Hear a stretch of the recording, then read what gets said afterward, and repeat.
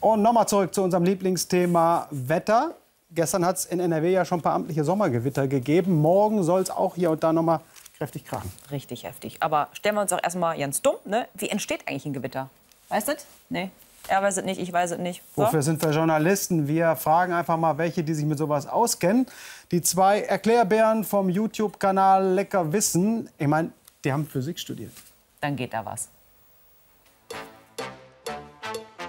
Um Gewitter machen die sich keine Gedanken. Die zwei schon, Simon und Eduard. Also wir haben hier ein paar Versuche mitgebracht, um euch zu erklären, wie Gewitter entsteht. Und dazu müssen wir erstmal verstehen, wie überhaupt Wolken entstehen. Und danach wollen wir uns natürlich auch angucken, wie es denn zum Blitz kommt.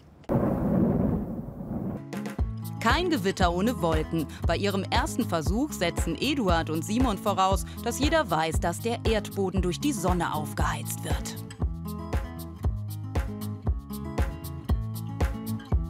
Wir möchten jetzt erstmal die Atmosphäre unserer Erde quasi nachbauen. Dafür müssen wir erstmal Wasser kochen. Und das gekochte Wasser, das schütten wir dann in diese durchsichtige Vase. Und das unten ist dann unsere Erdoberfläche. Und wir sehen, hier unten ist die Erdoberfläche, da ist es noch sehr warm und da steigt die Luft jetzt auf. Und was wir aber dann machen müssen ist, je höher die Luft kommt, desto kälter wird die. Und dafür werden wir das mal mit einem Eispaket nachbauen. Hier steigt die warme das? Luft auf, wird hier oben abgekühlt und hier bilden sich dann Wolken. Das heißt, das Wasser, was in der Luft ist, das kondensiert. Lass uns die Wolke 4 bitte nie mehr verlassen, weil wir auf Wolke 7 viel zu viel verpassen. Die warme Luft von der Erdoberfläche steigt nach oben und kühlt dabei immer weiter ab.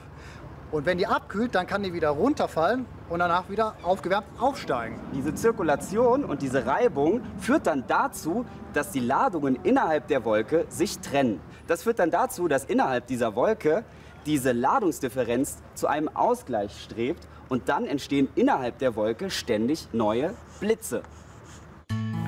Und einen Versuch dazu gibt es auch. Das Runde ist die Wolke, positive und negative Teilchen wurden getrennt und wenn es zur Reibung kommt, passiert das.